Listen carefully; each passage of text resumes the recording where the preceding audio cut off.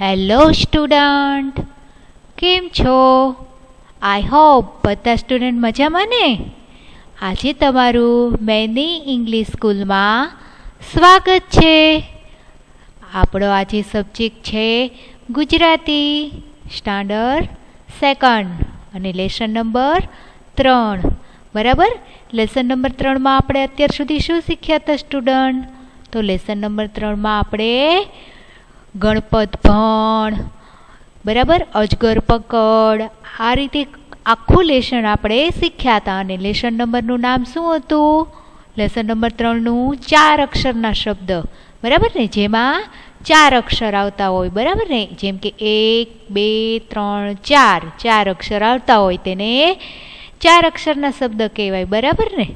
ચાલો, તેની પછી આપણે સ્ટાર્ટ કરીએ લેસન નંબર ત્રણ. બરાબર? તો લેશન નંબર ત્રણમાં શું આવે છે? પહેલું તો આપણે શબ્દનું.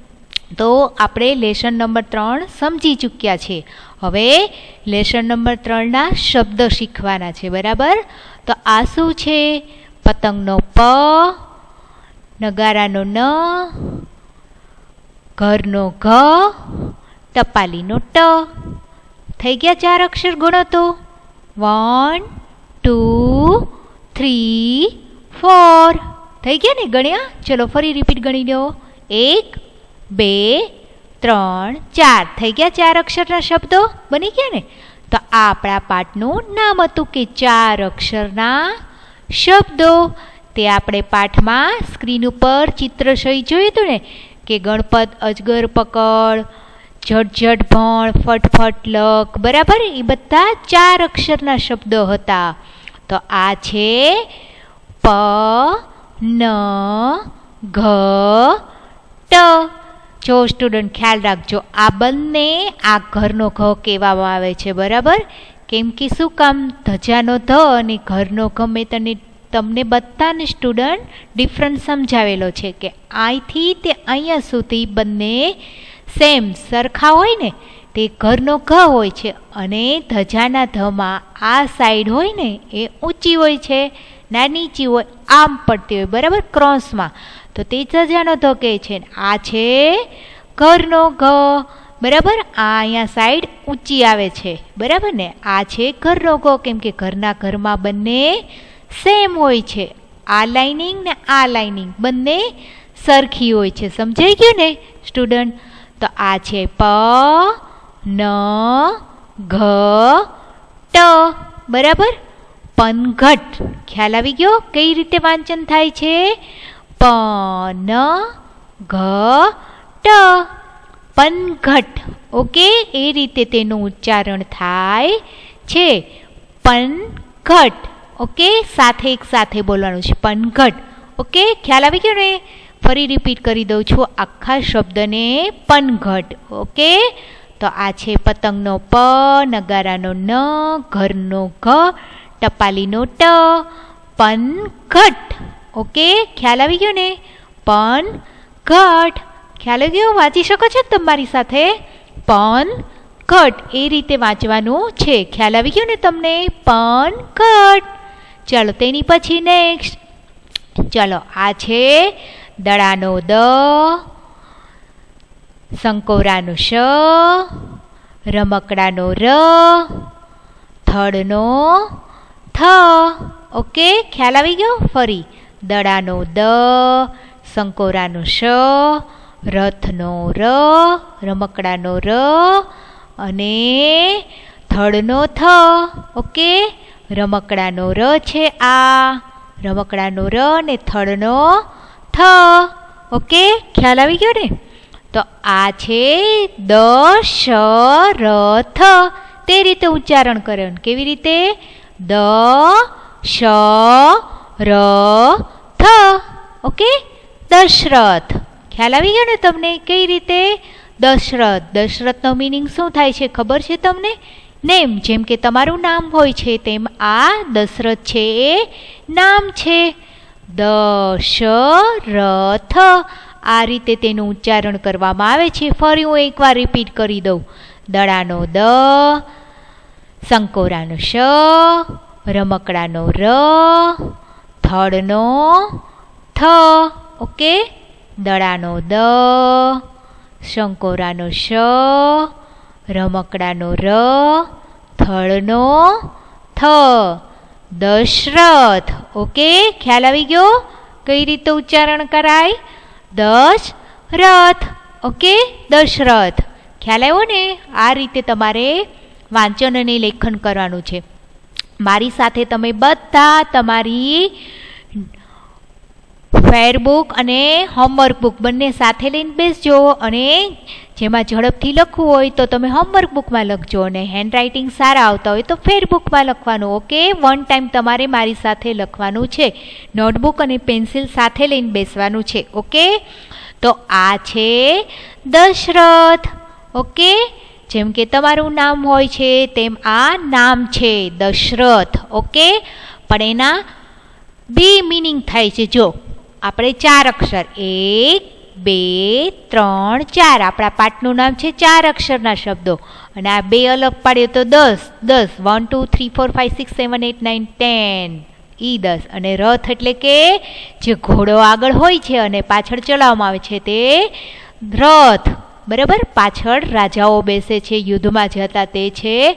રથ જો બે અક્ષરના શબ્દ કહેવામાં આવે તો આ બંને અલગ પડે છે અને આ બંને અલગ પડે છે. બરાબર ને? તો દશરથ ખ્યાલ આવી ગયો ને? રથ? આ દસ દસ રથ. બરાબર ને? આ નેમ છે એટલે આખું દશરથ ઓકે? ખ્યાલ આવી ગયો ને તમને? ચાલો તેની પછી નેક્સ્ટ. ચલો, તમારે લખાઈ ગયું હતું ને પણઘટ ને દશરથ ચાલો તેની પછી ત્રીજો શબ્દ હવે છે ગણપતિનો ગ. ઓકે? બોલો તો ગણપતિનો ગલ. પછી ફેણનો અણ. અણફેણનો અણ. પતંગનો પ. આ છે પતંગનો પ અને આ છે તલવારનો ત. આ શું છે? તલવારનો ત, ઓકે? તો આ તલવારનો ત. તો ગણ પત ઓકે? ખ્યાલ આવી ગયો ને? ગણપત. તો આપણે જ્યારે તમારું નામ લઈએ તેમ આ આપણે પાઠ સમજ્યા તેમાં તમને સ્ક્રીન ઉપર મેં ચિત્ર સહિત બતાવ્યું હતું કે એક સ્ટુડન્ટ હતો. એનું નામ શું હતું? ગણપત. બરાબર? ગણપત. તો આ છે ગણપતિનો ગ, ફેણનો અણ, પતંગનો પ, તલવારનો ત. ગણપત. ખ્યાલ આવી ગયો? નામ છે. તો ચલો લખો. ગણપતિનો ગ, ફેણનો અણ, લખાઈ ગયો. પછી લખો પતંગનો પ, તલવારનો ત. ગણપત. ઓકે? ખ્યાલ આવી ગયો? લખાઈ ગયો ને? ગણપત. ખ્યાલ આવ્યો ને? હા, આ રીતે લેખન કરવાનું છે. ગણપત લખાઈ ગયું સ્ટુડન્ટ. અને મારી સાથે ઉચ્ચારણ વાંચન પણ કરતા જજો, ઓકે? સ્પષ્ટ વાંચવાનું છે ગણપત. ઓકે? ચાલો, તેની પછી નેક્સ્ટ લખાઈ ગયું છે. બધા સ્ટુડન્ટને ફરી રિપીટ કરી દો ગણપત. ઓકે? ચાલો, તેની પછી. ચલો, આ છે ભમણાનો ભ. ઓકે? આ છે ભમણાનો ભ. ફેણનો અણ લખાઈ ગયું ફેણનો અણ આ છે તલવારનો ત. તલવારનો ત. ને આ છે રમકડાનો ર. ઓકે? આ શું છે? રમકડાનો ર. ભણતર. ઓકે? ખ્યાલ આવી ગયો? ભણતર. ખ્યાલ આવ્યો ને તમને સ્ટુડન્ટ ભણતર. કઈ રીતે વાંચન કરવાનું છે આખું? ભણતર. ફરી રિપીટ કરી દઉં છું. ભમણાનો ભ, ફેણનો અણ, તલવારનો ત, રમકડાનો ર. ઓકે? તો આ છે આખો શબ્દ. તેનું ઉચ્ચારણ થાય છે ભણતર. ઓકે? ભણતરનો મિનિંગ શું થાય છે ખબર છે તમને? ભણતર એટલે કે સ્ટડી કરવું. આપણે જે ભણીએ છીએ સ્ટડી કરીએ છીએ, તેને ગુજરાતીમાં કહેવામાં આવે છે ભણતર. ઓકે? ખ્યાલ આવી ગયો? ભણતર. ઓકે? તો આ ભમણાનો ભ લખ્યો. ચલો મારી સાથે હું ફરી રિપીટ કરું છું તમે. લખતા જજો. ભમણાનો ભ, ફેણનો અણ, તલવારનો ત, રમકડાનો ર. ભણતર. ભણતરનો મિનિંગ સ્ટડી કરવું એટલે કે ભણવું ઓકે ખ્યાલ આવી ગયો ને સ્ટુડન્ટ તમને? બરાબર? ચાલો તેની પછી નેક્સ્ટ ચાલો આ છે ઝબલાનો ઝ, ટપાલીનો ટ, ફરી પાછું ઝબલાનો ઝ, ટપાલીનો ટ ઝડ ઝડ કઈ રીતે વાંચન કરવાનું છે? ઝડ ઝડ ઓકે? આ રીતે વાંચન કરવાનું છે. ખ્યાલ આવી ગયો ને? ઝટ ઝટ. તો આપણે જ્યારે પાઠ સમજતા હતા તેમાં આવ્યું હતું કે સ્ટુડન્ટ બધા ઝટ ઝટ લખો. બરાબર? તો ઝટ ઝટ ઝાડ ઉપર ચડો. આ રીતે ઉચ્ચારણ કરી અને પાઠ ઉપર આપણે બે મિનિંગ્સ જોયા હતા. બરાબર? ઝટ ઝટ ઝાડ ઉપર ચડી જાઓ. ઓકે ચલો લખો. જબલાનો જ, ટપાલીનો ટ, ઝબલાનો ઝ, ટપાલીનો ટ ઝટ ઝટ લખાઈ ગયું? સરસ. તો તેનો એ વાંચન કરો મારી સાથે. ઝટ ઝટ ઓકે ચાલો તેની પછી નેક્સ્ટ ચાલો ફટાકડાનો ફ, ટપાલીનો ટ. ફટાકડાનો ફ, ટપાલીનો ટ. જો ફરી વાર આવ્યું ને, ફટાકડાનો ફ, ટપાલીનો ટ. ફટાકડાનો ફ ટપાલીનો ટ ફટ ફટ. બરાબર? ફટફટ શું કીધું તું? આપણે પાઠ સમજ્યા હતા ત્યારે ફટફટ લખો. બરાબર? તમારું લેખન કાર્ય ફટફટ કરો. તેમ કહેવામાં આવ્યું હતું ને, તેમાં ઉચ્ચારણ થયું હતું ફટ ફટ ફટફટ ઓકે? ખ્યાલ આવી ગયો? કઈ રીતે ઉચ્ચારણ થાય છે? ફટફટ ઓકે? સમજાઈ ગયું ને, સ્ટુડન્ટ? ફટફટ થઈ ગયું લેખન કાર્ય? મારી સાથે ફટ ફટ. ઓકે? ચાલો, સમજાઈ ગયું ને? ચાલો, તેની પછી નેક્સ્ટ. ચાલો. ઝબલાનો ઝ, મરચાનો મ. ઝબલાનો ઝ, મરચાનો મ.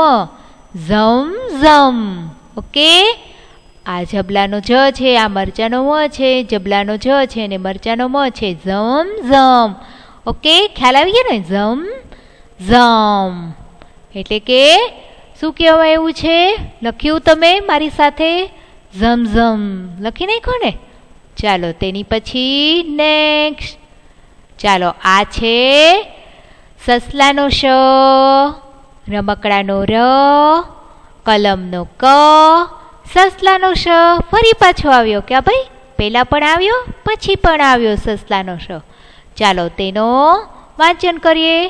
સર કસ કઈ રીતે ઉચ્ચારણ કરવાનું? શર કશ ચાર અક્ષર બની ગયા જોય વન ટુ થ્રી ફોર બની ગયા ચાર અક્ષર? આપણા પાઠનું નામ હતું ને, ચાર અક્ષરના શબ્દો. એક, બે, ત્રણ, ચાર. બરાબર? સર્કસ. યાદ આવ્યું તમને સર્કસ ઉપરથી? સર્કસનો મિનિંગ શું થાય? તો કે કે આપણે જ્યારે છે ને મોટા મેદાનમાં એક તંબુ બાંધ્યો હોય, ત્યાં આગળ હાથી, ઘોડા, સિંહ, વાઘ, પોપટ સસલા એ બધા ખેલ કરે, બરાબર? તો એ સર્કસ કહેવામાં આવે છે. બરાબર ને? એને શું કહેવામાં આવે છે? સર્કસ ખ્યાલ આવ્યો ને તમને? તેને કહેવામાં આવે છે સર્કસ ત્યાં આગળ બધા પ્રાણીઓ, હાથીઓને કેવા બેટ બોલે રમતા હોય છે, પોપટ હોય છે તે ખેલ કરે છે, બરાબર? ને નાનો નાનો ચોક્કર પણ આવે છે સર્કસમાં સાચે ને?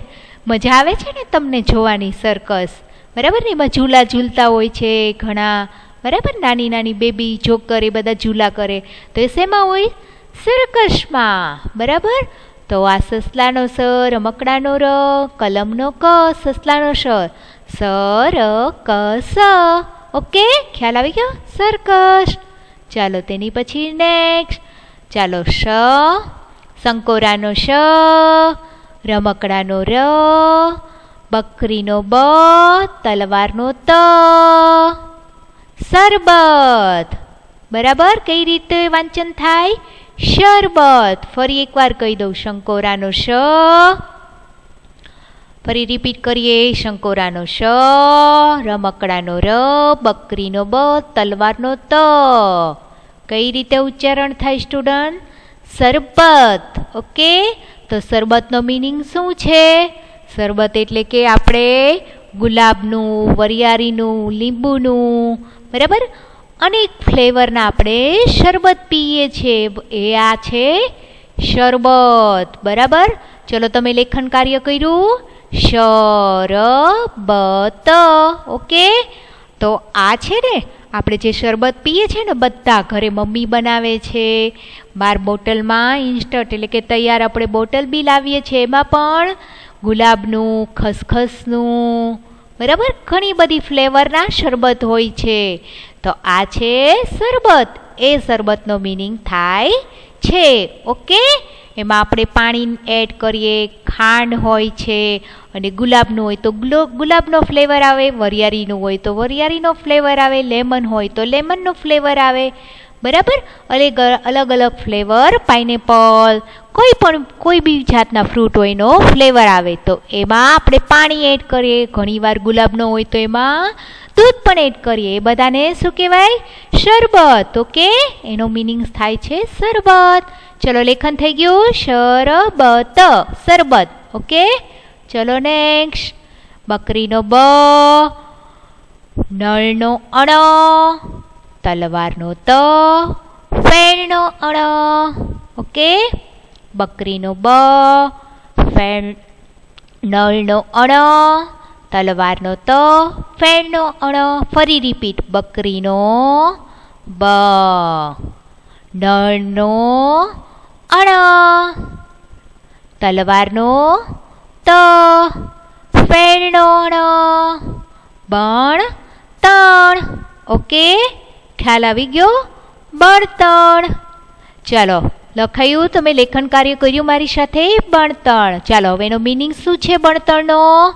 બણતણ એટલે કે લાકડા હોય, એને વૃક્ષમાંથી ડાળી કાપીએ અને તેને સળગાવી તો એ બધા લાકડાને શું કહેવાય? બણતણ બરાબર? ચૂલો કરીએ.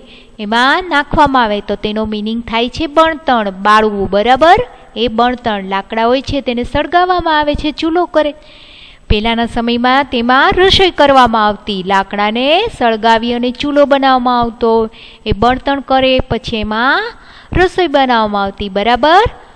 હજી ઘણી જગ્યાએ ગામડામાં, વિલેજમાં આ રીતે બણતણ ઉપયોગ કરી અને રસોઈ કરવામાં આવે છે. બરાબર? તો આ છે બણતણ.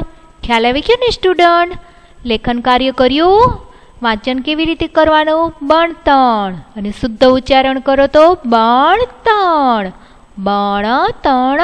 ઓકે? ખ્યાલ આવ્યો ને? બણતણ. ચલો તેની પછી નેક્સ્ટ ગણપતિનો ગ. રમકડાનો ર. બકરીનો બ. ડગલાનો ડ. ગરબડ. બરાબર? ગરબડ. શું કીધું છે? ઉચ્ચારણ કેવી રીતે કરાય? ગરબડ. બરાબર? ગરબડ એટલે કે આપણે કંઈક ગડબડ ગડબડ કરી નાખીએ ને, એક કામનું ઊંધાનું ચત્તું ચત્તાનું ઊંધું, એ મિનિંગ્સ ગરબડ બરાબર? આનો મિનિંગ્સ તો થાય ગરબડ એટલે કે ઊંધાનું, ચત્તું કરી નાખીએ ને, ચત્તાનું ઊંધું, બરાબર? આપણે ચત્તું હોય ને, એનું બધું ઊંધું કરી નાખીએ, જેમ કે આપણે આ ડ લખવાનો હોય, પાછળ તો આપણે પહેલાં લખી નાખ્યો, ર છે એને પાછળ જવા દીધો, બ પહેલાં જ ગ પાછળ દીધો. એટલે આપણે શું કર્યું? લખવામાં મિસ્ટેક કરી નાખી. બરાબર? જે મિસ્ટેક આપણે ઇંગ્લિશમાં મિસ્ટેક કહીએ છીએ ગુજરાતીમાં તેને કહીએ છીએ ગરબડ. બરાબર? મિસ્ટેક કરવી, ગરબડ. ખ્યાલ આવી ગયો ને? ચલો લેખન કાર્ય કરો. ગણપતિનો ગર મકડાનો ર, બકરીનો બ, ડગલાનો ડ, ગરબડ. વાંચન કરો તો સાથે મારી સાથે ગરબડ. બરાબર? ખ્યાલ આવી ગયો? ચાલો, તેની પછી નેક્સ્ટ ચકલીનો ચ, ફેણનો અણ, તલવારનો ત, રમકડાનો ર. ફરી રિપીટ ચકલીનો ચ, ફેણનો અણ, તલવારનો ત, રમકડાનો ર. ચણતર. બરાબર? ચાલો, ચણતરનો મિનિંગ શું ખબર છે? કોઈ પણ કડિયા કામ હોય ને, ઘર ચડે ને, તો એ એક ઈંટની ઉપર બીજી ઈંટ મૂકે, પછી સિમેન્ટ લગાવે પ્લાસ્ટર કરે, બરાબર? એ બધું કામ કરે ને ચણતર કપચી નાખે તો એ બધું શું કહેવામાં આવે છે? તેને સિમેન્ટ, રેતી ઈંટથી ઘર મકાન કરે છે તેને ચણતર કહેવામાં આવે છે, બરાબર? કડિયા કામ ચણતર કરે ને. કડિયા હોય તો એને ચણતર કહેવામાં છે. એનો મિનિંગ બરાબર? ઘરમાં એક રેતી ઉપર, એક ઈંટની ઉપર બીજી ઈંટ મૂકે, પછી રેતી અને સિમેન્ટનો માલ કરે, એ બધા કડિયા કરે. તો એને ચણતર કર્યું કહેવાય. ઘરનું ચણતર. બરાબર? ચલો, ઉચ્ચારણ કર્યું, ચણતર. ઓકે? ચણતર. ચણતર. ચાલો, હવે તેની પછી આપણે એનું લેખન કરીએ. ચણ. લેખન કાર્ય મારી સાથે કરતા જજો. ચ અણ તર, થઈ ગયું. ચાલો હવે વાંચન કરો મારી સાથે. ચણતર. ઓકે? ચાલો તેની પછી નેક્સ્ટ કરવત. ક, કલમનો ક રમકડાનો ર, વાહણનો વત, તપેલીનો ત, કરવત. કરવત એટલે કે ઓલા લાકડા ઘસવાની આવે ને? એ છે આ, બરાબર? એનો મિનિંગ્સ કરવત એટલે કે લાકડા ઘસવાની. તેની પછી નેક્સ્ટ ટ ટપાલીનો ટ, નગારાનો ન નગારાનો ન નગારાનો ન અરે લે, વાહ ભાઈ, ત્રણ વાર આવ્યો ન. ટ, ન ન. ટ, ન ન ન. બરાબર? ટન. કેવી રીતે ઉચ્ચારણ થાય? ટન, ટ, ન ન ન. બરાબર? તે રીતે ઉચ્ચારણ થાય છે. એટલે કોઈ પણ ઘંટડી કે બેલ વાગે ને, તેનો અવાજ આવે ટન. બરાબર? એવી રીતે ટન નન એવી રીતે અવાજ આવે ને? ઘંટડીનો એ જ તે, બરાબર? ચલો તેની પછી નેક્સ્ટ અ, જ ગર તો આપણે સ્ટુડન્ટ શીખ્યા હતા કે અજગરમાં શું આવતું હતું ખબર ને આપણે સ્વર શીખ્યા હતા સ્વર શીખ્યા હતા ને સ્ટુડન્ટ સ્વર શીખ્યા તો સ્વરમાં આપણે પહેલું શું આવતું હતું સ્વરમાં પહેલું આવતું હતું અજગર. અજગરનો અ. બરાબર?